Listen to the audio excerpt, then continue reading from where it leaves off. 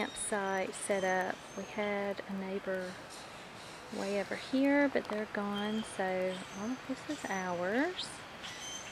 And you see across the road, I have some neighbors.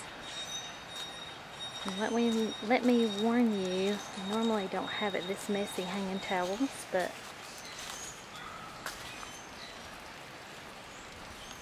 I had a little accident where I spilled a huge thing of water, so we had to hang our towels. These are neighbors, and this is our campsite. We're getting ready for supper, and what's cool is we're way back here in one of these private ones.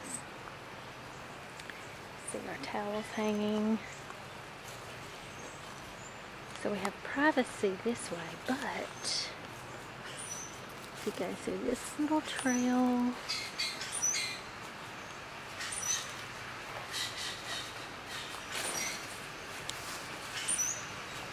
you can cut through to the main entrance, and you may not can see it, but there's the main office, and there's the beach. So since we've never been here before, I wasn't sure where to stay, but there's a bunch of campsites across there, so cool.